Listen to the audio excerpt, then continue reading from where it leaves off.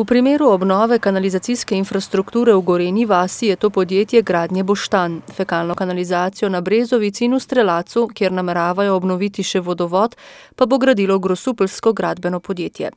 Gre pravzaprav za prve, že pred nekaj leti snovane naložbe, ki so jih na področju javne kanalizacije pripravili v samostojni občini, dodaja županja. Zato te dva projekta vključujete samo obnovo vodovoda pa izgradnjo kanalizacije.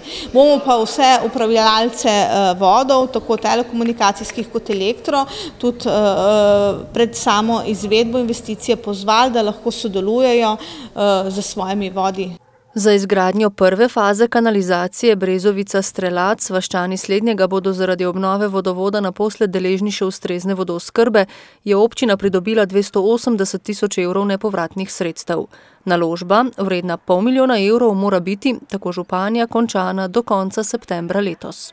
Za eh, kanalizacijo Gorenje vas pa zdaj čakamo ta osmi razpis regionalnih razvojnih spodbud, eh, da se tako kot z vrtcem Šmarjeta eh, prijavimo za ta nepovratna sredstva in pridobimo kar 85% upravičenih stroškov. Izgradnja kanalizacije v Goreni vasi bo občino predvidoma stala 800 tisoč evrov.